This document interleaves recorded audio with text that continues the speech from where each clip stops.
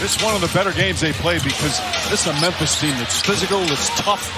Jackson fires away, and Jackson has only played 11 minutes because of foul trouble and a technical foul call. Is that on Poole? That's on That's Poole. his second one. He's done. Automatic. What is he doing? He looks at referee Marc Davis, gestures to him, says something. You, you've got a 32-point game. You've played just superbly. And that's two more technicals. So he now has, he's got now eight technicals on the season.